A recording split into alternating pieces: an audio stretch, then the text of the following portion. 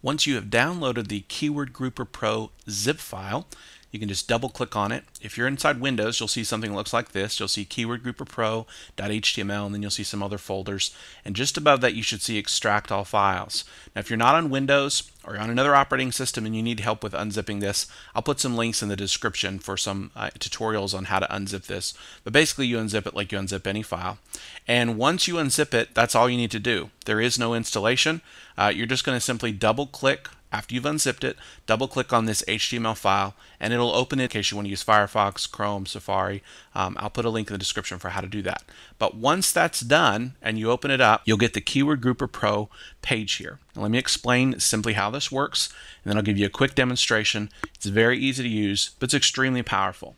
So in this area, you're going to be pasting in any keywords. Now these can be long tail keywords, they can be full questions. I'm going to demonstrate this in just a minute, but you paste all your keywords in here.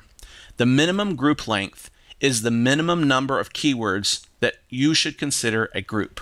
So this might be five keywords. If you put five in here, you're saying as long as there are five keywords that match some criteria, which is uh, the, the language of the keyword itself, then put those into one group.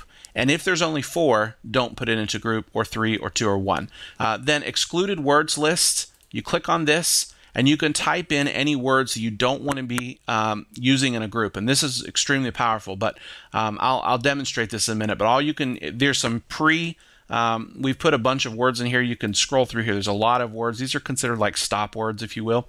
But if you know you want to add a specific word into this list, and I'll explain why you'd want to do this in just a moment, you can type that in here and then click Set Excluded Words List. And the last thing is to simply click on Process Keywords and let Keyword Grouper Pro look through all the relationships between all the keywords and group them based on the words that are found within those keywords. So let's just do a really quick example to show you.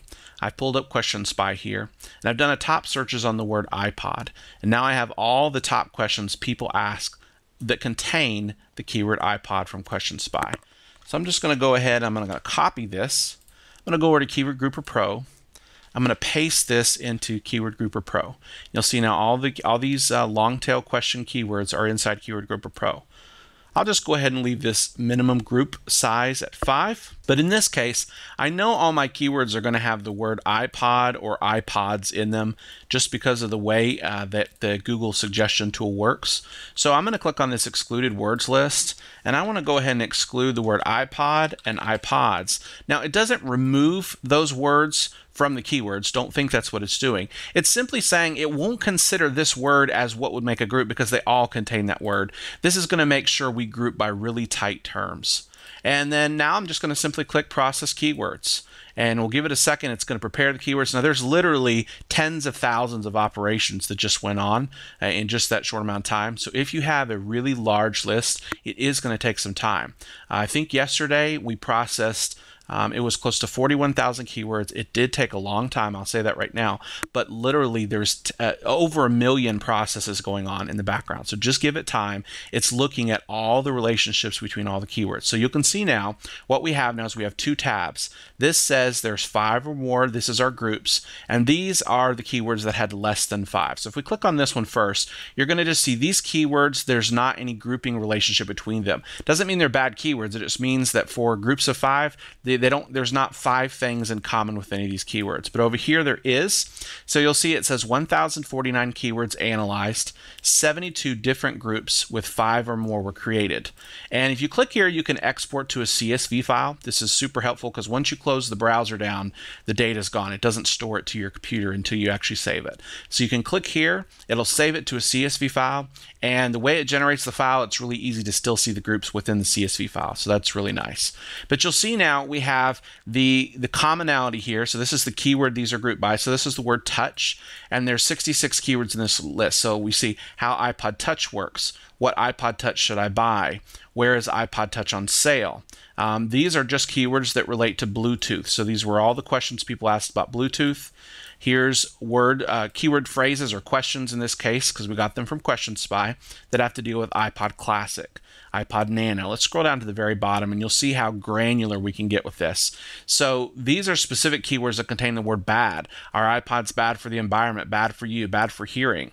Um, let's scroll down even further. Working. When iPod stops working, why do iPod 5 stop working? Why do iPod chargers stop working? Okay, so you'll see how nice and tight you can get these uh, specific words down into these very small groups. Now we chose five, but had we chosen three or two, one obviously is not going to do anything because that's not a group, that's just a single keyword. But if you choose smaller amounts, it will take a little bit more time, but you'll get even tighter groupings. And it just depends on how much you want to focus on that. Now, if I want to copy these keywords to my clipboard, if I just want to copy the keywords that relate to the word best, I just click the copy button, and now that's been copied to my clipboard. I can go to the Google AdWords keyword tool and paste in just these terms and get actual search volume on a very tight keyword group.